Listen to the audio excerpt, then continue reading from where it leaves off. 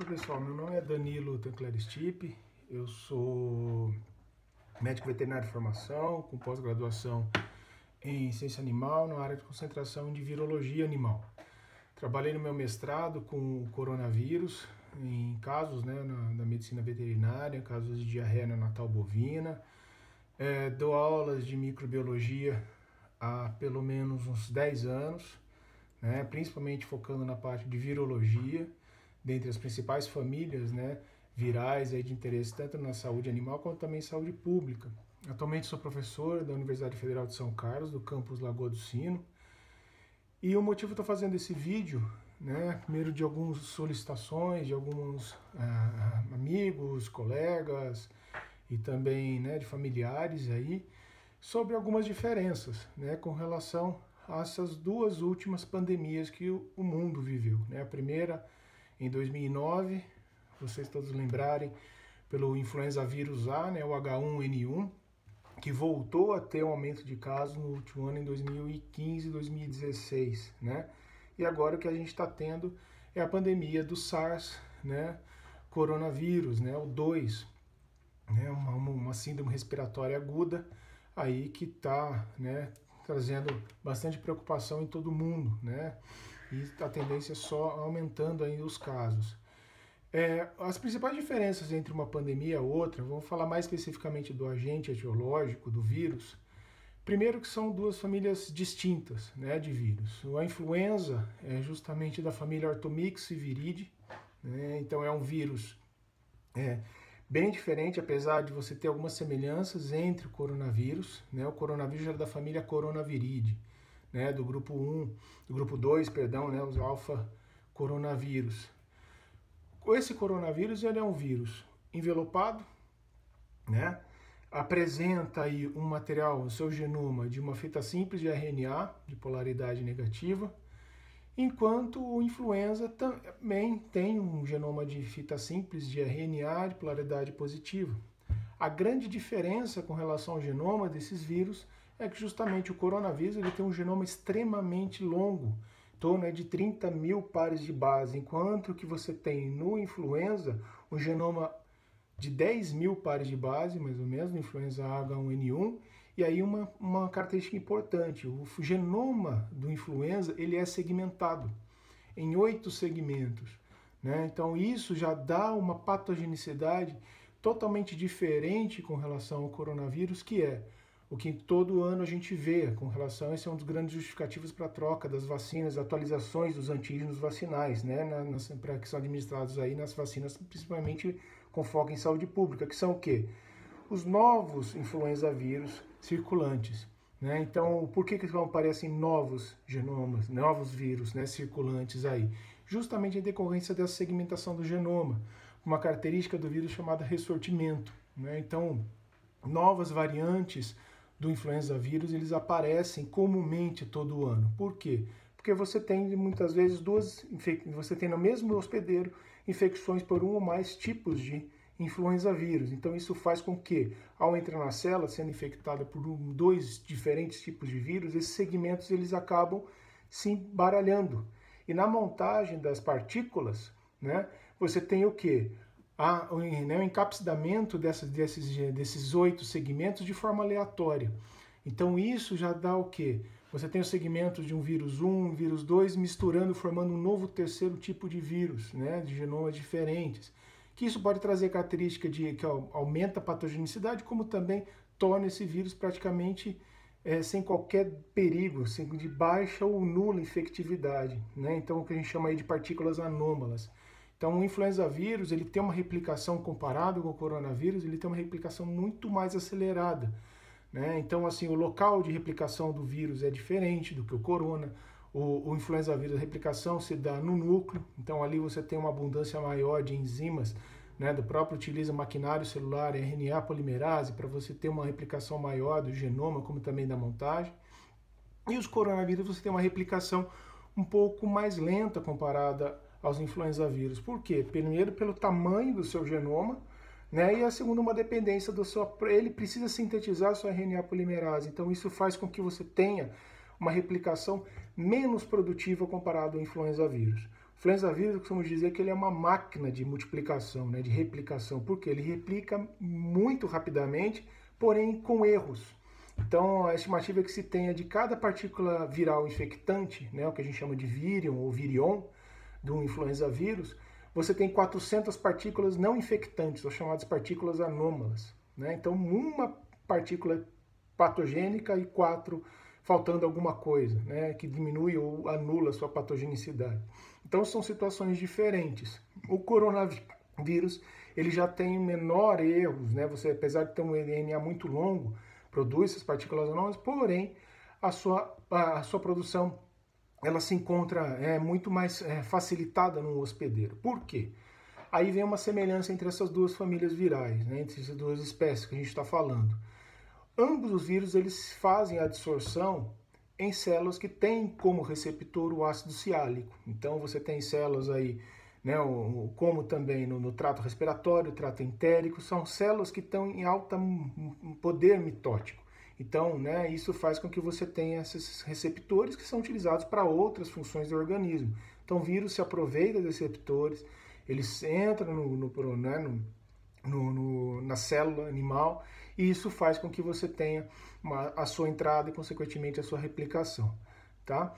Uma característica importante desse corona, até diferenciando do primeiro surto do SARS, é que o coronavírus, no seu envelope, ele utiliza uma proteína chamada proteína S, ou glicoproteína S, melhor dizendo, que é a spike, né, para proteína S. Para essa glicoproteína se tornar capaz de se ligar ao receptor do ácido ciálico, ela tem uma necessidade de ser quebrada, clivada, né?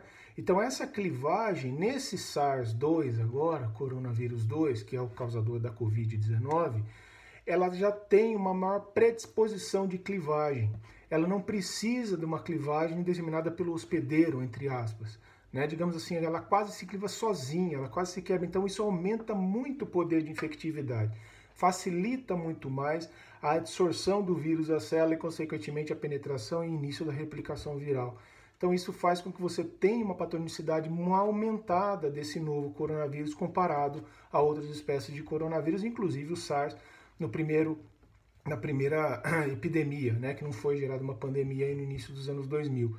Então, isso já dá um alto poder de né, uma patogenicidade diferenciada comparado com o próprio coronavírus e também comparado com influenza, tá? Uma coisa que é mais limitante no coronavírus, comparando aí com influenza, né, é a transmissibilidade. O que, que é? Né? Essa capacidade do vírus ser transmitido. O influenza ele tem uma transmissibilidade muito maior comparado ao coronavírus. Né? Então, mas por que então você tem tantos casos de coronavírus surgindo né, cada vez mais? E isso significa o quê? É uma maior concentração do vírus no ambiente? Sim, é uma característica diferenciada desse coronavírus 2 agora, do SARS-2, tá? Mas comparando o atual momento que a gente está, né, a gente está aí, né, entrando, saindo um pouquinho, né, de um período mais chuvoso, a gente está no período de um clima muito mais, que é não, numa temperatura mais alta, um pouco mais úmida. Então a transmissibilidade do coronavírus ela acaba sendo um pouco mais prejudicada pelo clima, pelo ambiente. Por quê? É diferente do, do influenza. Só para fazer um comparativo, um parênteses aqui, os casos de gripe sazonal, né, quando você também tem envolvimento do influenza A, H1N1, H5N1, como já teve anos atrás, é, eles se beneficiam do período tempo seco. Por quê? O influenza ele é um vírus que ele pode ficar muito mais tempo suspenso no ar em virtude do clima, porque ele é expelido por aerossóis, né? Então, ao falar, mas principalmente ao tossir e espirrar, a pessoa infectada com essa gripe, com o influenza vírus, ela elimina uma grande quantidade de vírus, né? Pelas essas gotículas que são suspensas no ar. Com o tempo seco, essas gotículas conseguem, elas acabam ficando mais tempo no ar, por quê? Porque você tem menor umidade relativa do ar. E isso faz com que essas gotículas que têm a sua umidade expelida pela água, né, pelas essas gotículas do hospedeiro, elas se mantêm por quê? Porque elas não vão conseguindo agregar a umidade do ar. Então, com isso, elas vão tendo um peso menor por muito mais tempo e com isso ela atinge maiores áreas ao redor. Agora, com o coronavírus, o que, que a gente tem? A gente tem uma umidade relativa do ar boa, né, adequado, não está um tempo tão seco, apesar que a gente está entrando nessa época onde você tem um tempo menos, mais, mais seco, sem chuvas, né? que aí é uma preocupação grande. Então, o coronavírus, quando ele é expelido por tosse, espirro, contato, que for, né, principalmente por tosse, espirro por aerossol, perdão, no contato é outra situação, você tem o quê? A liberação dessas gotículas de ar, e como o ar está muito mais úmido, elas vão começando a reter mais água. E com isso ela vai ganhando peso. E é uma tendência do quê? Dela ter uma menor é, distribuição. Então ela cai, por isso que falo muito nessa questão de manter um espaço de pelo menos um, dois metros de um outro indivíduo, de outra pessoa. Por quê? Porque acaba sendo o raio de dispersão dessas gotículas, né, em período mais úmido. Se for agora em período seco, que é essa grande preocupação das, das, dos órgãos de saúde, é que você tem uma menor umidade do ar e ao espirrar, ao tossir, faz com que você aumente esse raio de transmissão em decorrência da baixa umidade do ar. Né? Então, assim, isso é, é, é a, a, questão do, do, SARS agora, qual que é o grande problema diferenciado que a gente tem aqui no Brasil? Né? Primeiro, pela própria característica cultural do brasileiro, dos povos mais latinos, que é o quê? É muito mais o contato, é um povo muito mais, né, é, mais próximo, né, ao tocar, ao cumprimentar, né? É, então, isso faz com que tenha uma transmissibilidade muito maior. Isso foi comprovado também na influenza, no, em 2019, pela forma como se propagou no Brasil, forma como durou mais tempo. Não foi nem pela característica climática, mas sim pelo contato. Né? Então, hoje nós temos uma situação muito bem definida de transmissibilidade do coronavírus, que tem até características semelhantes ao que foi no influenza. Porém, né, isso é uma característica até mais própria do Brasil comparado a outros países do hemisfério norte, né, que foram afetados. Por quê? Em decorrência da própria cultura do brasileiro, né, dos povos latinos, de, de né, daquele, né, é, é, pelo contato, né, um contato social muito grande aqui no Brasil. Então isso faz com que você, o coronavírus ele tenha uma situação, um cenário positivo para sua transmissão.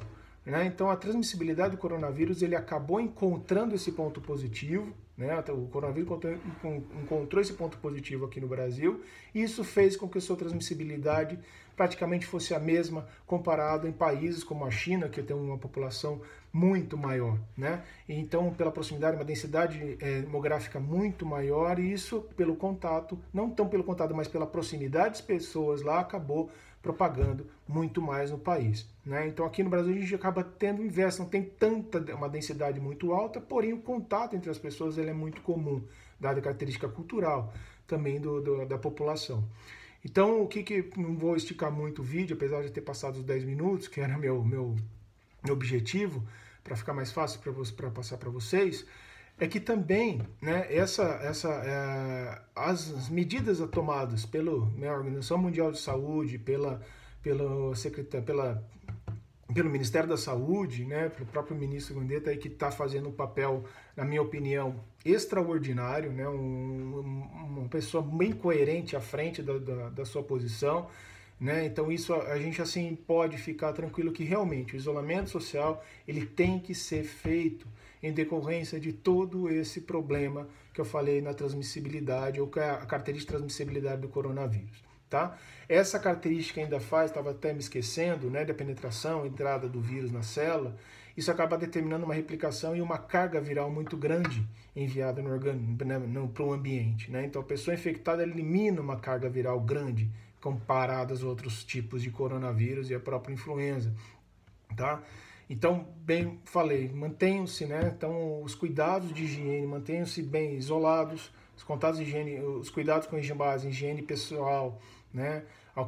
Toda etiqueta, né? Que estão falando aí de, de, de, de, higiene, então ao espirrar, ao tossir, evitar usar as mãos, usar antebraço ou mesmo carregar um lenço, mas que não use por muito tempo e descarte ele no local correto, que nada vai adiantar você jogar um lenço que você já espirrou 10 vezes ali e jogar no ambiente, vai, aquilo ali é uma fonte de infecção, né? Então peço né, que vocês uh, sigam as recomendações dos órgãos de saúde, né? Isso aqui é mais um vídeo para esclarecer algumas dúvidas que alguns, né, algumas pessoas me pediram, até por trabalhar na área, mas logicamente eu não, não sou um grande o que realmente vai dizer da minha palavra que vocês vão ter que tomar como decisão, formação é, de, de, de, opinião de vocês. Vão ter o que? Busquem informações em órgãos de saúde, tá? Só um, mais uma uma, uma, uma dica, uma, uma dica, mas uma sugestão de leitura para vocês. Existem dois sites assim muito bons de virologia que vocês podem entrar um pouquinho mais no assunto baseado na virologia, né, características do vírus, morfologia, a própria replicação dessas duas famílias. Né? Existe um blog no professor da Universidade de Columbia de Nova York, é, o professor Vincent Racaniello, né, que é virology.ws. É um blog assim espetacular, com tudo que é informações, baseado em ciência, os artigos que estão saindo por último. Você encontra muito nesse blog. Então lá você vai encontrar essas informações, como também uma atualização dos quadros e a própria visão desse virologista que é altamente renomado no mundo todo, né? Até ele considerado como o, o, o, virologia da, o virologista da Terra, né? Do planeta Terra. Então é o professor de virologia do planeta Terra. E assim, tem um elemento muito bom, então todo, a cada dois dias provavelmente ele está colocando coisa nova, incluindo aí a questão dos testes de tratamento, o andamento das pesquisas com relação à vacina para o coronavírus, vale a pena, tá? Então, Virology, né? Virology, com Y no final, ponto .ws, é um site muito importante. O outro, eu não sei falar o, site inteiro, porque ele tem uma, umas um, outras palavras no meio do site, no endereço, mas podem procurar os sites de busca chama Viral Zone, né? Viral Zone, tá? É um site muito bom onde você vai ter as características principais dos vídeos, como animações de replicação, as características de genoma, né? quais são os segmentos aí, codificantes das proteínas estruturais, não estruturais dos vírus. Vale a pena, tá, pessoal? Ah, no mais, é, caso vocês queiram ter alguma, alguma dúvida, vocês querem conversar comigo, tá? Meu e-mail é o stipp, S-T-I-P-P, né? S de sapo, T de igreja, I de, T de tatu, I de igreja, dois P de pato, arroba ufiscar.br, tá? Esse é meu e-mail profissional, vocês podem enviar para mim, tá bom? Agradeço aí pela, pela paciência né, de ter escutado. Espero, espero ter esclarecido com vocês algumas dúvidas, né, posicionado alguns conceitos importantes da, da virologia, que faz a gente repensar com relação a alguns casos e faz a gente tomar algumas decisões. Mas eu enfatizo novamente: busca as informações nos órgãos de saúde tá? Organização Mundial de Saúde, no Ministério da Saúde, na Secretaria de Estado da Saúde, né, do seu estado. Então isso com certeza vai fazer uma grande valia. E logicamente se mantenham saudáveis, né? Não só manter saudáveis com relação a características as questões de higiene, com relação à prevenção do coronavírus, mas também saudáveis na, na questão também mental, né? Dá um tempo também na, na, nas, nas, nas notícias, né? nas redes sociais, porque ninguém aguenta mais ficar falando, falando, falando de coronavírus, né? Vamos abrir uma gavetinha, pelo menos de alguma notícia boa, alguma coisa que te faça repensar, viver outras coisas, que isso vale a pena, né? Então, corpo, espírito e mente, né, sempre saudáveis, aí é o que eu desejo para vocês, tá bom? Grande abraço, obrigado.